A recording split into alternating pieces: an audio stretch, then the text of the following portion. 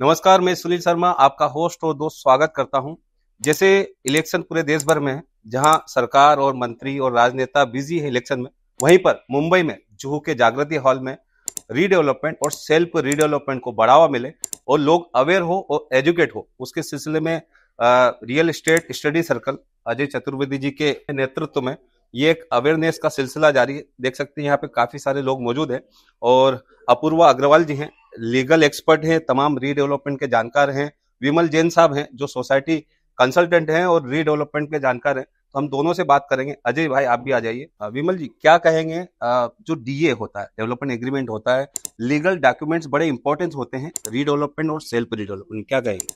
सो so, जब तक लोगों में अवेयरनेस नहीं आएगा कि रीडेवलपमेंट का प्रोसेस स्टार्ट कैसे होता है और कंप्लीट कैसे हो जाए तब तक ये प्रॉब्लम सॉर्ट आउट नहीं होंगे Apoorva ji legal as a आपने इतने सालों से एक फर्म के ज़रिए लोगों को अवेयर किया है क्या क्या पहला सवाल होता है लोगों का सोसाइटी का, जो बार बार आता है? मतलब एक साल के बाद भी, चार साल के बाद भी, आज दस सौ साल बाद भी वही सवाल आ रहा है।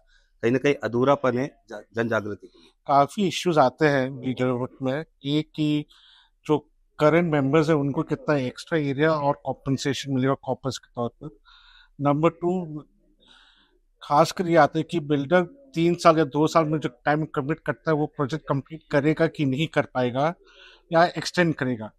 कि जितना देर एक्सटेंड करेगा पहाड़ रहना उन लोग को मुश्किल हो जाती है। और तीसरी बात यह है कि क्वालिटी ऑफ़ कंस्ट्रक्शन क्या होगी? हम्म। कि ये तीनों इश्यू पर काफ़ी गहराई होती है और वो वो एज रिटर्न होना चाहिए डॉक्यूमेंट डॉक्यूमेंट में आप जितना लिख रहे हैं आप as a member you can control the construction you can control the delay process तो वो document has to be strong enough to penalise builders in case anything goes wrong बिल्कुल।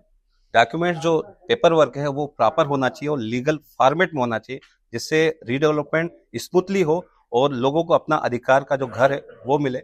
मैं सुनील शर्मा कैमरामैन राकेश पवार के साथ में महासेवा न्यूज़, मुंबई।